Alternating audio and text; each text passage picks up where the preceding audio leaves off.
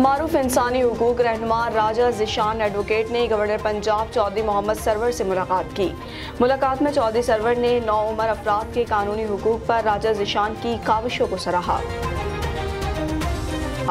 मरूफ इंसानी हकूकी रहनमा राजा जीशान एडवोकेट की गवर्नर पंजाब चौधरी मोहम्मद सरवर से गवर्नर हाउस लाहौर में खसूसी मुलाकात हुई, जिसमें राजा जीशान ने गवर्नर पंजाब को अपनी तहकीक पर मबनी जुविलाइन जस्टिस सिस्टम इन पाकिस्तान पेश की। तहकीकी रिपोर्ट नौ उम्र अफराद के साथ जेलों में नारवा सलूक, जेलों के अंदर नंबर दराना निज़ाम, नौ उम्र अफराद को ख़तरनाक मुजरमों के साथ रखने, नौ उम्र कैदियों को अलहदा बैरक में रिहाइश और नौ उम्र कैदियों को फ़नी तलीम के लिए इंतज़ाम की ज़रूरत पर मुश्तमिल है। गवर्नर पंजाब चौधरी मोहम्मद सरवर ने राजा जिशान की काविश को काबिल इतमान करार दिया और दरपेश मसाइल को हल करने के अज़म का इजहार किया। राजा जिशान इस वक्त इलमी तौर पर तालीम, आज़ादी, इजहार और इंसानी हकूक़ के लिए मुतद खदमात सर अंजाम दे रहे हैं।